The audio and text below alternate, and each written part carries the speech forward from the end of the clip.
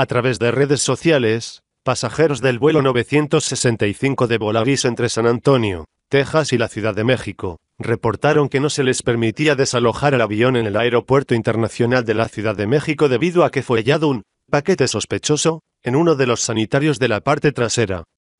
Tras el aterrizaje, la aeronave con matrícula N515V fue enviada a una zona remota del AIGM para efectuar una revisión detallada.